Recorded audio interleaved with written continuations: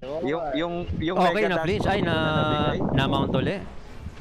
Third mount, third mount yan. Wala na. Sure mount na to. Hindi pa nagkakamali si Boss Yegi. So, confident na. Okay, headshot, headshot. Ayun. Pero parang naninibago ako sa mga shoutout nila Yeki ngayon eh. At sa mga previous na mga laro nila. Malinis Oh, na oh, sabihin. Malinis, mal- malinis yung Okay, ano nila. okay.